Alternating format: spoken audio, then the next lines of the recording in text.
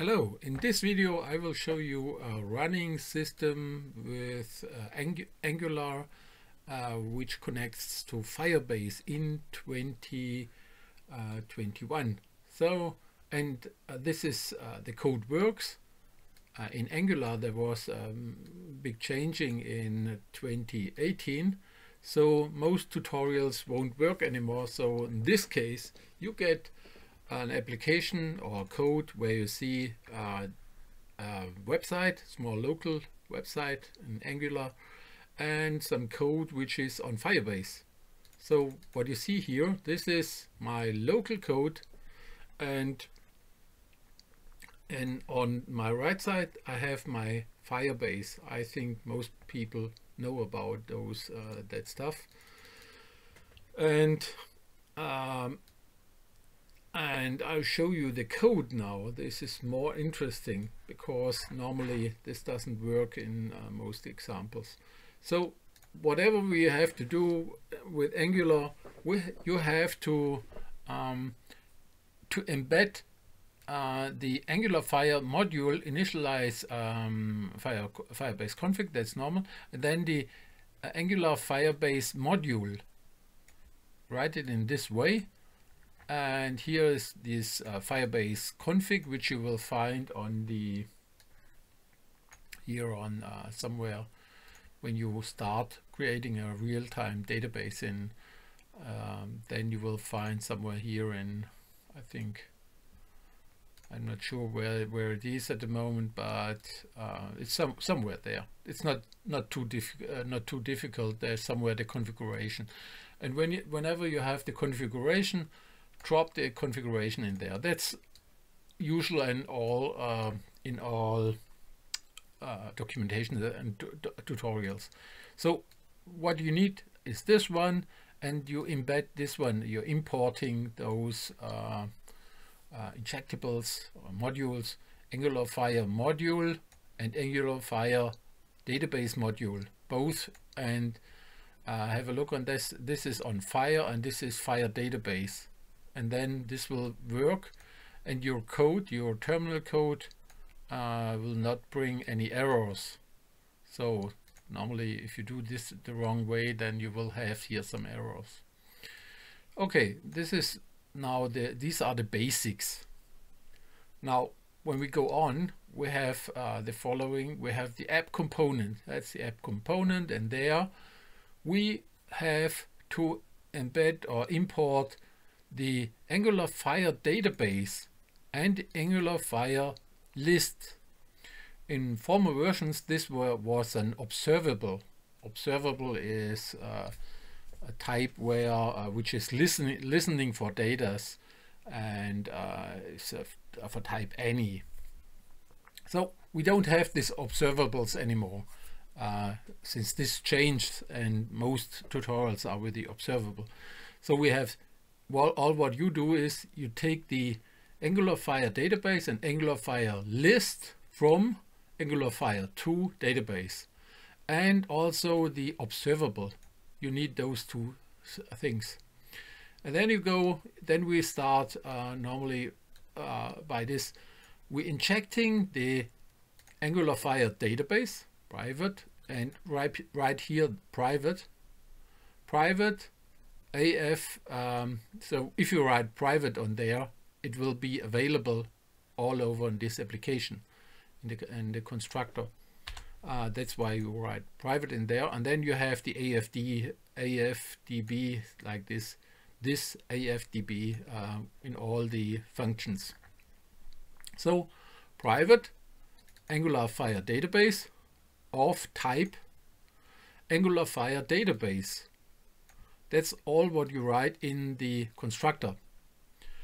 And now we're using how, how does it connect in the new version? And since 2018 now in 2021 we have the following. Um, it's split into a reference. This is the table. This is the angular fire list of type any not an array Angular list any. And when you, you, write here an ng on init, so you say app component implements ng on init, then you have this ng on init, you write this one, or take the code from my website, and then you say uh, make make a reference uh, of my local database, that's a reference, and take the AFDB uh, Angular Fire database dot list the list from there. Drop or connect the list with my local variable. So this is Angular Fire list. My local list with the connected with the server list. And then um, this you can't uh, normally you you try to run the uh, this one the ngFor when you have angular you try always ngFor and show me some data in a list. So something like this what you see here as a result. So this ngFor for loop um, this doesn't work with um, it always brings an error if you type the type uh, here the former um, when, when you try to do it with one variable, with one list only. So that's why you find some sometimes these examples. This is my reference to the database, and this is my data which I show on my um, on my application with Angular.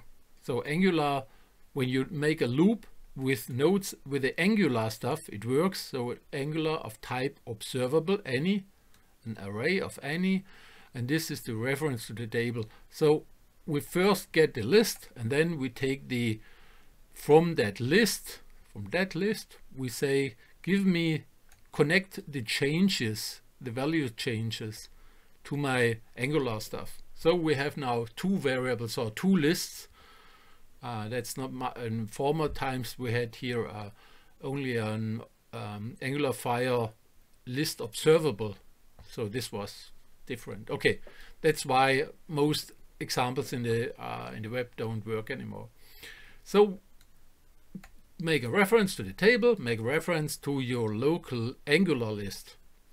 And then when you want to add something, you go there. This uh, nodes Firebase data, so the table which is on Firebase.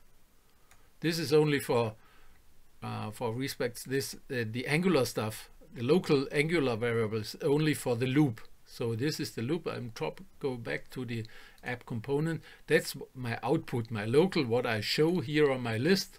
This is my list, what I'm showing.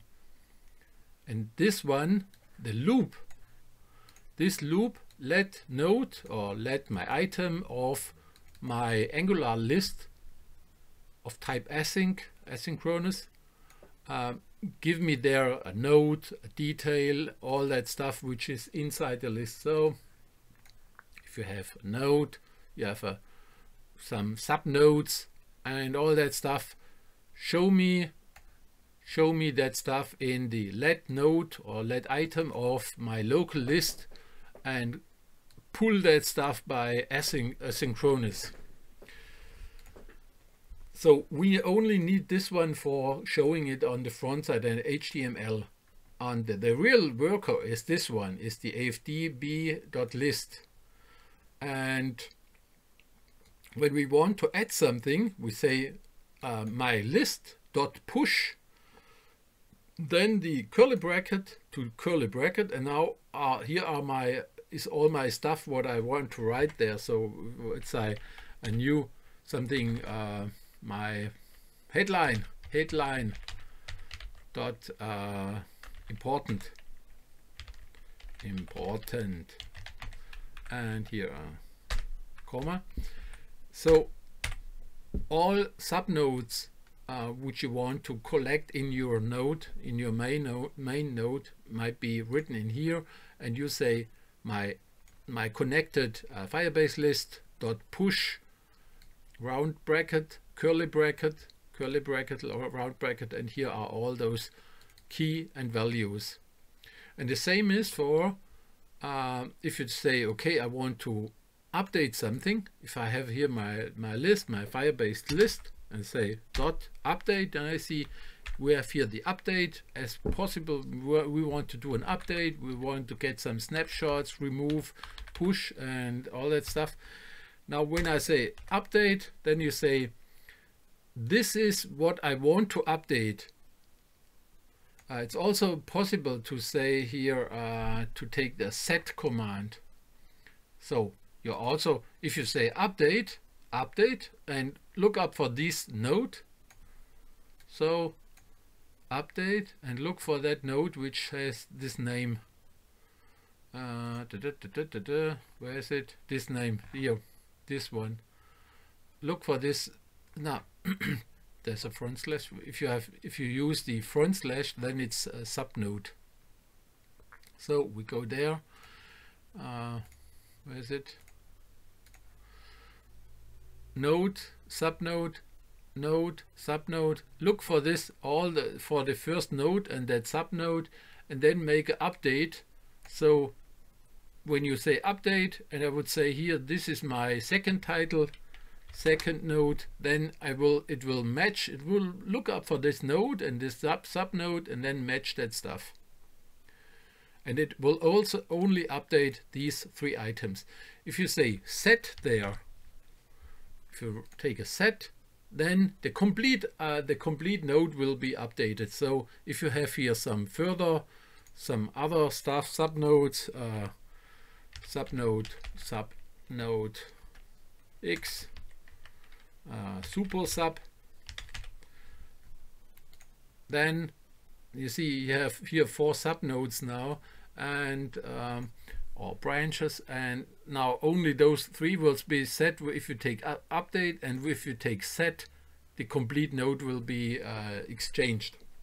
And then you finally have remove and when you take the remove uh, and you have the cursor around this then you will see this is of type promise. Here you see promise.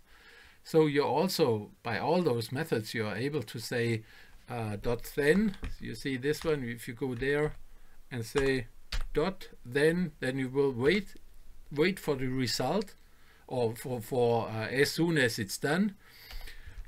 If you get if uh, the machine comes back and nothing is then it's uh, you may say x goes to uh, console log and write uh, it's successful and other ways you get the catch and then you say okay give me an, uh, the error which comes with it uh, is an error of type error.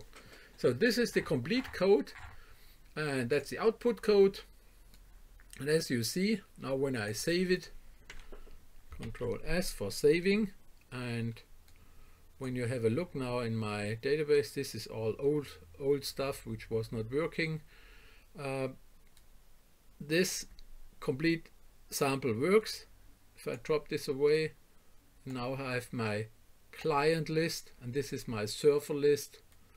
And we have saved it. Then now when I say add you will see there's now the adding adding something. Now you see the cursor is going there. And you will see also see there's these nodes came up with this uh, stuff. And now we also took the delete. Did we take the delete there? Yes this one if you take a delete then the, this node should be deleted but I'm not sure if it's really working in this case but that's not so important. Uh, it will match. I'm not uh, it will match. If you take a delete then it looks for the um, yeah it will look for 2012 and 02 if you have this one and should find it. Uh, if you take a set command and the node was not there, then the node will be created by this. Um, you will find the code since this one is running and I'm really happy about this because I was looking so, so such a long time for a real running code and I couldn't find one. Uh, I'll place my code example here on my website and now all what you have to do you have to uh, take your stuff from there. Uh, you see, here's the example, what you see there. This is my Firebase, this is my local client. And then you will see that's the description what I told you now and you may take exactly those positions as I explained and I hope I wish you good luck on working with Angular and Firebase